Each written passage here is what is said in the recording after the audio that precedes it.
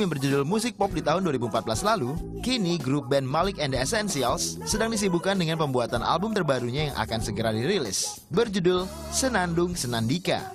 Sebenarnya kita belum putus lagunya yang mana. Cuman ini mungkin pertama kali kita announce bahwa album Malik uh, judul albumnya dulu ya namanya Senandung Senandika. Nantikan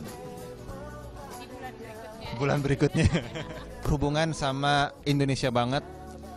Uh, ibu-ibu banyak ibu-ibunya. Itu. Jadi mungkin launching Malik next banyak ibu-ibu. Mulai bulan lalu Indah udah manggil guru dance ke rumah.